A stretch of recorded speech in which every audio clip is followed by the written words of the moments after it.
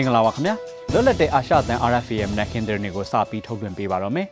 နိုင်ငံတကာအခြေအနေတွေဘလို့ပဲပြောင်းပြောင်းတရုတ်ပြည်ဟာမြန်မာနိုင်ငံနဲ့မဟာဗျူဟာအရနက်နက်ရှိုင်းရှိုင်းပူးပေါင်းဆောင်ရွက်မှုတွေတိုးမြှင့်သွားမှာဖြစ်တယ်လို့တရုတ်သမ္မတရှီကျင်းဖျင်ကပြောလိုက်ပါတယ်တရုတ်ပြည်ဘေကျင်းမြို့မှာမြန်မာတပ်မတော်ကာကွယ်ရေးဦးစီးချုပ်ဗိုလ်ချုပ်မှုကြီးမင်းအောင်လှိုင်နဲ့တွေ့ဆုံချိန်မှာပြောလိုက်တာပါတရုတ်မြန်မာဆက်ဆံရေးမှာစစ်တပ်ချင်းပူးပေါင်းဆောင်ရွက်ရေးဟာအရေးပါတဲ့အစိပ်ပိုင်းတစ်ရပ်ဖြစ်တာနဲ့အညီအပြန်အလှန်ယုံကြည်မှုကိုအခြေခံတဲ့စစ်ရေးဆက်ဆံမှုကိုလက်တွေ့ကျကျထူထောင်သင့်တယ်လို့တရုတ်သမ္မတရှီကျင်းဖျင်ကပြောပါတယ်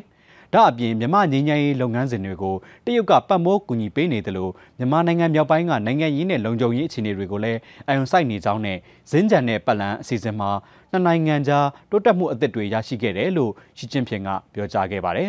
2011ခုနှစ်မှာတက်မတော်ကာကွယ်ဦးစီးချုပ်ဖြစ်လာခဲ့တဲ့ဗိုလ်ချုပ်မှုကြီးမင်းအောင်လှိုင်ရဲ့တရုတ်ပြည်ခီးစဉ်ဟာပြင်စမအကြိမ်မြောက်ဖြစ်ပါတယ်ခင်ဗျာ ရခိုင်ပြည်နယ်မြောက်ဦးမြို့အခြေဆိုင်အမှတ်31ရဲတပ်ဖွဲ့ဌာနချုပ်နဲ့လေညင်းတောင်အနီးကယာယီတပ်စခန်းကိုဝင်ရောက်စီးနင်းပြီးနောက်ခေါ်ဆောင်သွားတဲ့ရဲမိသားစုဝင်တွေကိုပြန်လွှတ်ပေးမယ်လို့ AA ဖွဲ့ရဲ့စစ်ဦးစီးချုပ်ဗိုလ်ချုပ်ထွန်းမြတ်နိုင်ကပြောလိုက်ပါတယ်။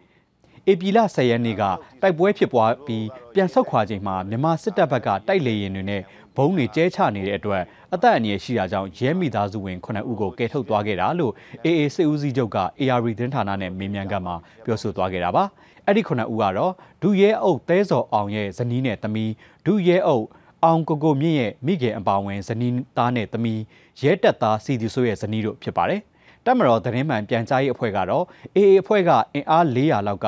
ရဲတပ်ရင်ဌာနချုပ်ကိုအလုံးရင်းနဲ့ဝင်ရောက်စီးနင်းတိုက်ခိုက်ပြီးရဲမိသားစုဝင်တွေကိုဖမ်းဆီးသွားခဲ့တာလို့သတင်းထုတ်ပြန်ထားပါတယ်ခင်ဗျာ။မြောက်ဦးမြို့နယ်လက်ကာကြေးရွာအနီးမှာဗုဒ္ဓဖူးနှစ်မွန်လွယ်ပိုင်းကရခိုင်တပ်မတော် AA နဲ့အစိုးရတပ်မတော်တိုက်ပွဲဖြစ်ပွားပြီးနောက်ဒေသခံ28ဦးကိုအစိုးရတပ်မတော်ကဖမ်းဆီးသွားတယ်လို့ဒေသခံတွေကပြောပါတယ်။တိုက်ပွဲဖြစ်ချိန်2နာရီလောက်ကြာပြီးနောက်အစိုးရတပ်မတော်စစ်ကြောင်းက လက်ကာကြီးရွာအတွင်းကိုဝင်ရောက်စစ်ဆေးပြီး28ဦးကိုဖမ်းဆီးခေါ်ဆောင်သွားခဲ့တယ်လို့ရွာသားတွေက RFA ကိုပြောပါတယ်။တပ်မတော်သတင်းမှန်ပြန်ကြားရေးအဖွဲ့ရဲ့ထုတ်ပြန်ချက်အရတိုက်ပွဲဖြစ်ပွားပြီးနောက်ရွာသားတွေနဲ့ရောနှောတပ်ဖြောက်ထားတဲ့မတင်ငါပွဲ23ဦးကိုဖမ်းဆီးမိခဲ့တယ်လို့ဆိုပါတယ်။ရွာသားတွေကတော့တပ်မတော်ကဖမ်းဆီးသွားသူတွေဟာ AA အဖွဲ့ဝင်တွေမဟုတ်ဘူးလို့ပြောပါတယ်။ဖမ်းဆီးခံရသူတွေနဲ့ပတ်သက်လို့ AA အဖွဲ့ပြန်ကြားရေးတာဝန်ခံခိုင်တုခကိုဆက်သွယ်မေးမြန်းရမှာလဲသူတို့ဟာ AA တပ်ဖွဲ့ဝင်တွေမဟုတ်ဘူးလို့ညင်ဆိုလိုက်ပါတယ်ခင်ဗျာ။ ကရင်ပြည်နယ်ကြာအင်းစိတ်ကြီးမြို့နယ်အနန်းကွင်းရွာမှာတပ်မတော်သားနှစ်ယောက်ကတနက်နဲ့ပြစ်လို့တေဆုံးဒဏ်ရာရခဲ့သူတွေအတွက်နိုင်ငံတော်ကနစ်နာကြေးပေးဖို့မိသားစုဝင်တွေကမနေ့ကသတင်းစာရှင်းလင်းပွဲပြုလုပ်ပြီးတောင်းဆိုလိုက်ပါတယ်။တေဆုံးသွားသူတွေရဲ့ကလေးငယ်တွေစားတောက်နေထိုင်ရေးအတွက်နစ်နာကြေးရလိုတယ်လို့တေဆုံးသွားတဲ့အမျိုးသား၃ဦးရဲ့ဖခင်ကပြောပါတယ်။တမတော်သတင်းမှန်ပြန်ကြားရေးအဖွဲ့ကဗိုလ်မှူးချုပ်ဇော်မင်းထွန်းကတေဆုံးသွားတဲ့မိသားစုဝင်တွေကနစ်နာကြေးတောင်းဆိုတာကိုမသိသေးဘူးလို့ပြောပါတယ်။ ပြစ်မှုကျူးလွန်ခဲ့တဲ့တပ်သား2ဦးကိုလက်နက်နဲ့ခွင့်မဲ့ပြက်ကွက်မှုအရက်သေးစာတောက်စားမူးယစ်မှုတွေနဲ့စစ်တရားရုံးမှာစစ်ဆေးအရေးယူပြီးအဲ့ဒီနောက်ပိုင်းမှာလူသေးဆုံးမှုအတွက်စစ်ဆေးဖို့အတွက်အရက်ဖက်တရားရုံးကိုလွှဲပြောင်းပေးသွားမယ်လို့လည်းပြောပါရခင်ဗျာ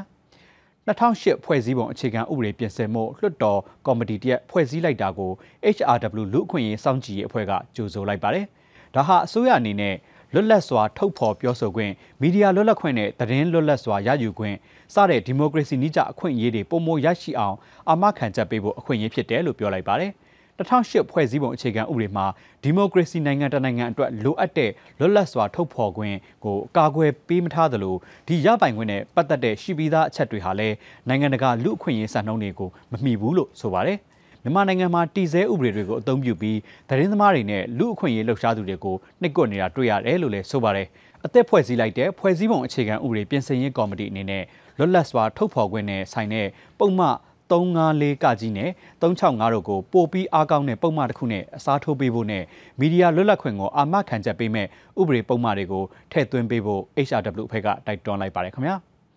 မတရားအသင်းဆက်သွယ်မှုပုံမှန်18မြင်းဆောင်1နဲ့ဖမ်းဆီးခံနေရတဲ့ ABSDF မြောက်ပိုင်းဒုဥက္ကဋ္ဌကိုအောင်ဆွေဦးနဲ့ကိုမောင်ဦးတို့ကိုကချင်ပြည်နယ်မိုးညင်းခရိုင်တရားရုံးကမနေ့ကထောင်ဒဏ်2နှစ်စီချမှတ်လိုက်ပါတယ်။သူတို့နှစ်ဦးနဲ့အတူဖမ်းဆီးခံရတဲ့ကိုမောင်ကိန်းကတော့တရက်သေးလွတ်မြောက်သွားတယ်လို့သိရပါတယ်။ဒီစီရင်ချက်နဲ့ပတ်သက်ပြီးအယူခံဆက်တင်သွားမယ်လို့ဖမ်းဆီးခံခဲ့ရတဲ့သူတွေရဲ့ရှစ်နေဦးတင်လှိုင်က KNG သတင်းဌာနကိုပြောပါတယ်။ သူတို့၃ဦးဟာ2018ခုနှစ်နိုဝင်ဘာလကမိုးညင်းမြို့က ABSDF ရဲဘော်တယောက်ရဲ့နာရေးကိုအသွားဖမ်းဆီးခံခဲ့ရတာဖြစ်ပြီးမိုးညင်းမြို့နယ်အခြေစိုက်ခလာရ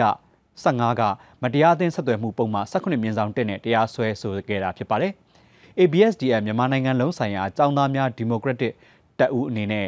ရဲဘော်တွေကိုအခုလိုအပြစ်ဒဏ်ချမှတ်လိုက်တဲ့အပေါ်ပြင်းထန်စွာကန့်ကွက်ကြောင်းကြေညာချက်တစ်စောင်ကို AB လ17ရက်နေ့ရက်စွဲနဲ့ ABSDF ပိုကော်မတီကထုတ်ပြန်ခဲ့ပါတယ်။ အခုလို ABSDF တပ်ဖွဲ့ဝင်တွေအပေါ်ပြစ်ဒဏ်ချမှတ်လိုက်တာဟာပြည်တွင်းငြိမ်းချမ်းရေးအတွက်နိုင်ငံရေးဆွေးနွေးပွဲတွေပေါ်ထွန်းရေးကြိုးပမ်းနေတဲ့အဖွဲ့အစည်းတွေအတွက်တရားမျှတတဲ့ဆုံးဖြတ်ချက်မဟုတ်ဘူးလို့လည်းဖော်ပြခဲ့ပါတယ်ခင်ဗျာ။မြန်မာနိုင်ငံမှာဖြစ်ပွားနေတဲ့အကြမ်းဖက်မှုတွေကိုပိုပြီးအာရုံစိုက်ကြရမယ်လို့တိုက်တွန်းနေတဲ့